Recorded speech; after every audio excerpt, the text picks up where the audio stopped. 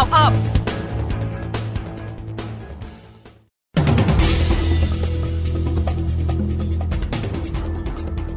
12นาฬิกา13 นาที นายกรัฐมนตรีพอใจบลูมเบิร์ก ยกไทยอันดับหนึ่ง ประเทศที่มีความทุกข์ยากน้อยที่สุดต่อเนื่อง สะท้อนการทำงานรัฐบาลประสบความสำเร็จ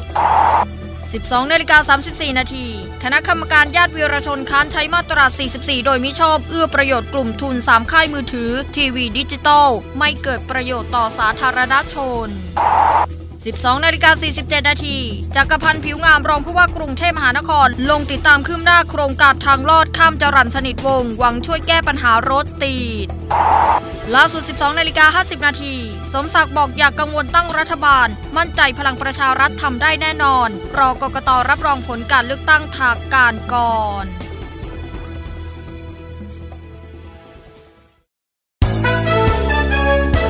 INN News Round Up